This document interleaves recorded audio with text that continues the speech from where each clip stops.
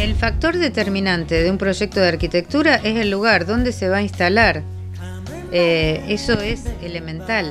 Primero hay que ver dónde va a estar eh, lo que quiero construir para después tomar datos del, lugar y, responderle al lugar con la arquitectura. La, arquitectura responde o está condicionada por la materia, por el lugar y por el tiempo en que se, en que se hace el proyecto. Esos son los tres elementos fundamentales que tenemos en cuenta cuando estamos haciendo un proyecto de arquitectura. La materia es inerte, tiene un significado, adquiere características de obra de arte si está de la mano de un diseño que le da toda esa potencialidad, porque el hormigón es hormigón, no tiene poesía en sí mismo, lo tiene en función de la forma.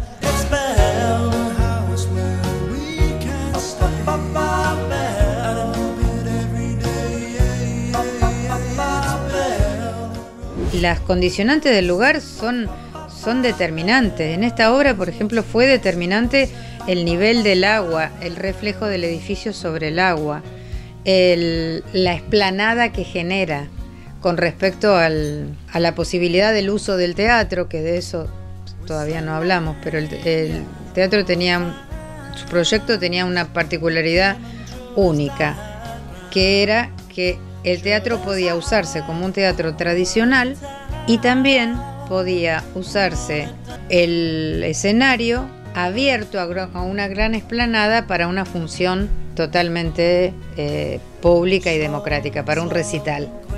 Entonces, definía esa gran explanada con un edificio espalda donde situaba un restaurante y contra la costanera una boletería.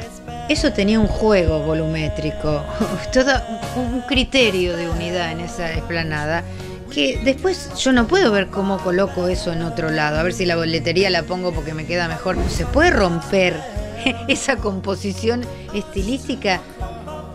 Claro, de un, de un genio, no se puede eh, colocar en otro lado.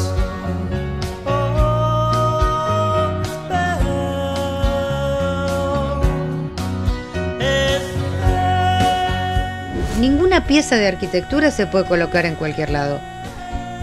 Pero la de un genio menos. Porque, porque a ver, todo es hacia la unidad. Si vos este edificio lo querés colocar en otro terreno, las bases van a ser diferentes porque el estudio del suelo te va a dar un resultado diferente al que tiene el, del terreno del puerto. Y eso va a hacer que las bases sean diferentes. Entonces le estás cambiando el edificio casi el 40% de su, de, su, de su volumen. En corte le estás cambiando la mitad.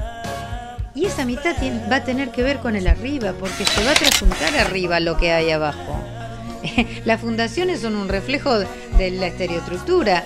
Yo creo que está bien, el programa es muy bueno de, hacer otra sala, pero en otro lugar hay que hacer otra cosa.